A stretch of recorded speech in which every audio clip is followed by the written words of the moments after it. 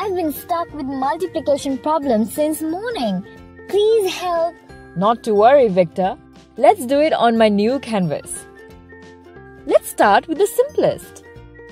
Here we multiply 5 by 3. Draw 5 lines representing 5 and cross these lines with 3 lines representing 3.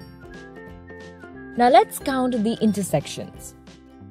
We get 15. So the answer is 15. Now let's try something difficult. 11 multiplied by 14. Draw one line, then leaving some space, we draw one more line. This represents 11.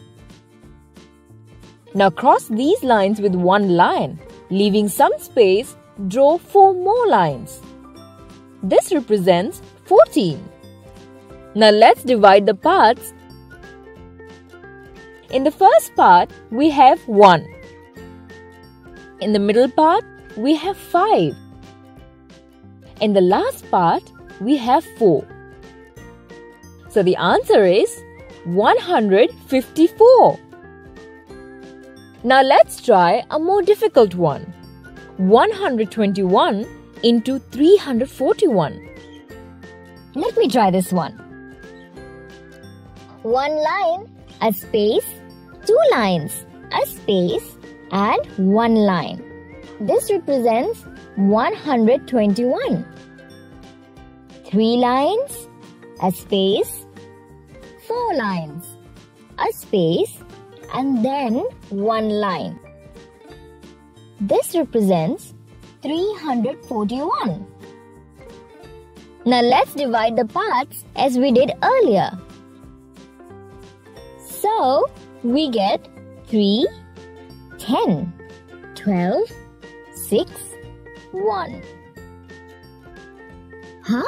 How can we have two numbers in a place? Elvis, what to do now? That's easy. We carry over 1 from 12 in the hundredths place to the thousands place. So, we get 2 in the hundredths place now and 10 plus 1 that is 11 in the thousands place. Again, we carry over 1 from the thousands place to the ten thousands place. Thus, we get 4 in the ten thousands place. Thus, the answer is 41,261.